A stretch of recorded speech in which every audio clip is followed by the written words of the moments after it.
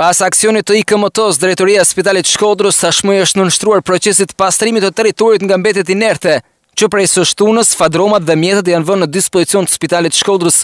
me qëllim pastrimin e plotë të territorit, si dhe nga ana tjetër, sipas drejtorit të këtij spitali, Përparim Çela pas fazës së pastrimit, Do të nisë rehabilitimi i oborrit të Spitalit të Shkodrës. Pas nismës që mori Ministria e Shëndetësisë për lirimin e hapësirave publike edhe në Spitalin Rajonal Shkodër, pra në ndërtimet e paligjshme, sot gjetëm rastin në një ditë pa ngarkesa që të bëjmë dhe pastrimin e territorit të tyre mbetjeve dhe inerteve që t'i kthejmë në identitet mjediset e gjelbërta, si për personelin shëndetësor ashtu edhe për qytetarët që vinë për të vizituar dhe të jenë hapësira në mjediset pra të jenë të pastra ashtu me dinjitet siç duhet të jenë për t'i shërbyer institucionit. Gjatë ditës sotme do kryhet gjithë pastrimi i inerteve dhe mbetjeve të tjera që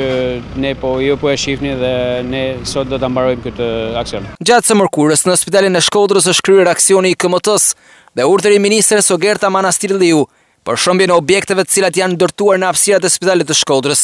katër objekte janë shembur si rezultat i këtij aksioni, ndërkohë që gjatë javës së ardhshme hapësira përreth spitalit do të ketë një pamje tjetër.